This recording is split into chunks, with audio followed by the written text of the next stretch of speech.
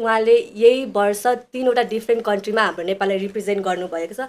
जुन चाहिँ हाम्रो लागि एकदम प्राउड कुरा हो। ओलम्पिक मुभमेन्टमा टच हुनुलाई त त्यहाँ धेरै स्ट्रगल हुन्छ त्यहाँभित्र कामहरू उहाँहरूको काम छुट्टै हुन्छ अब हामी अब एज एथलिट हाम्रो काम छुट्टै हुन्छ होइन? हामीले गऱ्यो पनि सबैले साथ पनि दियो। त्यस्तो खत्रै मान्छेको हुनु भने त। कति हामीले सुनिरह होला नि त एउटा अब यस्तो दामी दामी छ तर किन यसले पाएन भन्नु भन्ने पनि धेरै छ नि त। सुनियो नि त त्यो टाइममा नै सुनियो। जुन टाइममा सेलेक्ट भयो।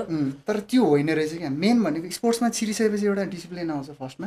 मेन त्यो डब्लुएसएफ वर्ल्ड च्याम्पियनसिप बेल्जियमको चाहिँ अब जुन मैले जुन इभेन्टहरू खेलेको त्यो सब ओलम्पिक क्वालिफायर सिरिजहरू जुन स्कलरसिप जुन मेरो हुनु नै त्यही गेमहरूकै लागि हो। मलाई थाहा थियो त्यहाँबाट ठुल्ठुलो बिबहरू आउँदैछ। हाम्रै होटेलमा थियो क्या लिल्जीहरू को को हुन्छ नि जुनियरहरू। म सोच्दै थिएँ क्या बाटो सोच्दै सोच्दै ओहो लिल्जीहरूलाई पनि भेट्यो ठ्याक्कै हिँडेको ठ्याक्कै लिल्जी आउँदै रहेछ क्या। कतिलाई त नेपाल कहाँ हो भन्ने पनि थाहा थिएन। युरोपियन बिबहरू को कोले त कहाँ हो त्यहाँ पुगे जस्तो भयो नि त मेरो कन्भर्सेसन। फेरि त्यहाँ ब्याटल खेल्न आउने पनि सब कन्ट्रिज फाइनेस्टहरू टप टप बिबहरू सबको लागि सब ओलम्पिकको लागि छनौट हुनलाई भनेर भिडिरहेको हुन्छ नि त। त्यहाँ त जो पाइ त्यहाँ आउँदैन। सब टफ टफै आउँछ। अनि एसियन गेम त फर्स्ट टाइममै हो राखेको नै।